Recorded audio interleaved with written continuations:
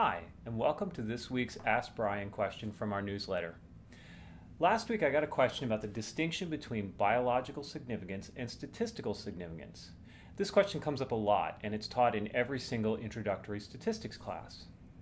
So, the question goes something like this If you've rejected a null hypothesis, so say you're testing for whether or not some effect is zero, the question is whether or not the effect that you've estimated is really just statistically significant, uh, or if the actual magnitude of the effect uh, represents something that's biologically meaningful. And this is, uh, so I'll talk about where this comment is coming from, but then I'll talk about how it's maybe a little bit more complicated of a problem than simply repeating the statement biological st- significance isn't just st- statistical significance.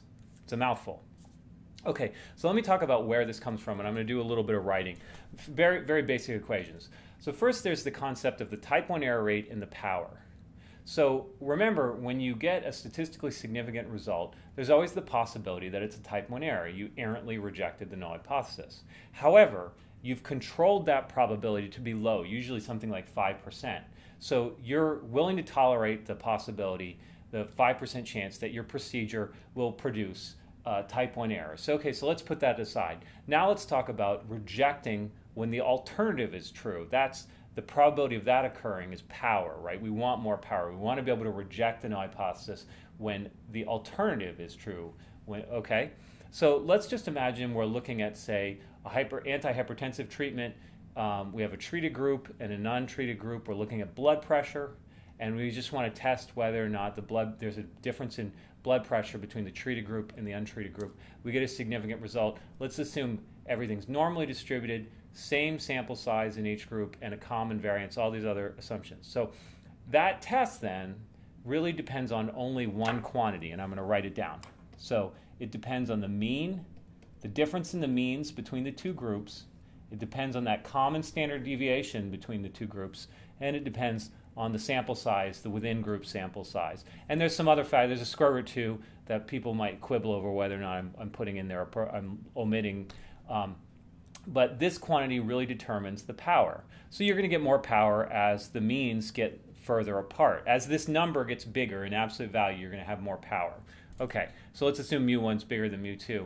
So as this gets bigger, you're going to have more power. As the variance gets smaller, you're going to have more power. Okay? And then as n gets large, you're going to have more power. So this is kind of where this statement comes from, is you can have a small mu1 minus mu2, right?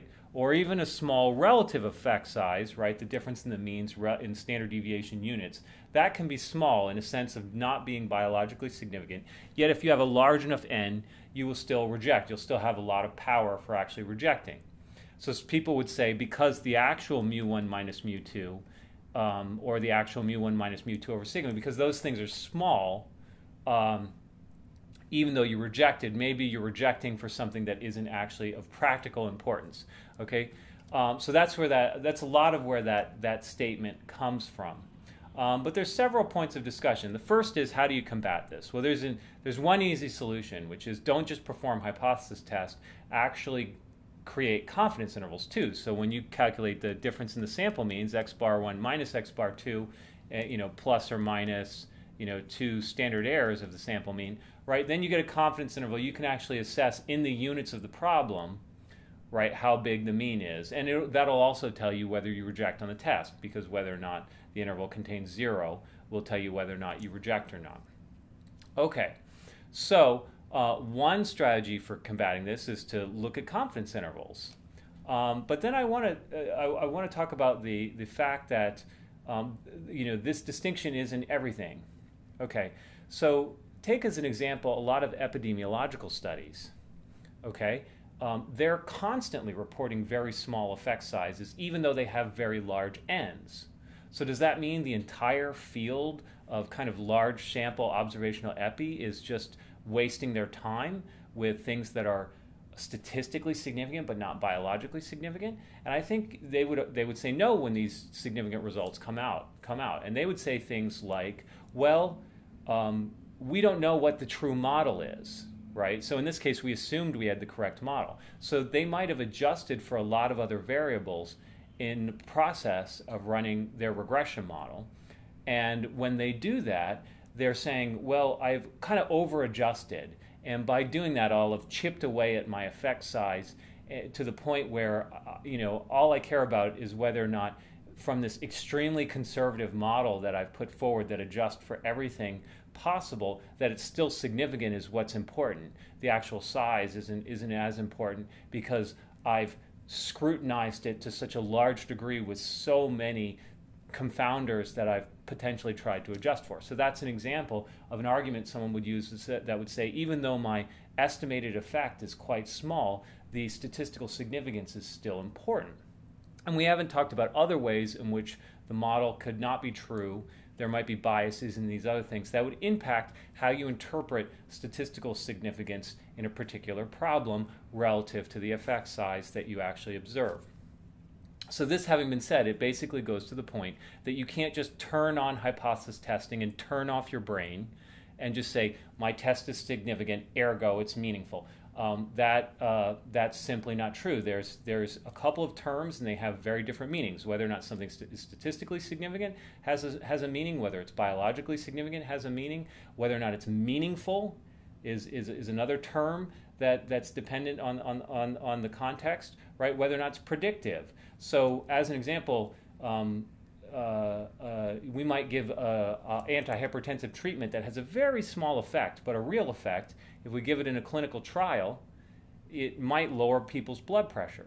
However, if we actually want to predict who has low blood pressure, whether or not they're taking this treatment because it has such a small effect, wouldn't be a very useful predictor. Other things like your diet, your age, your weight, other factors might be give us a better ability to actually predict your um, blood pressure so that if we were building up a prediction model, this whether or not you're taking this medication would probably not be worth the reduction in prediction error that it costs because of the other consequences of throwing in uh, extra regressors.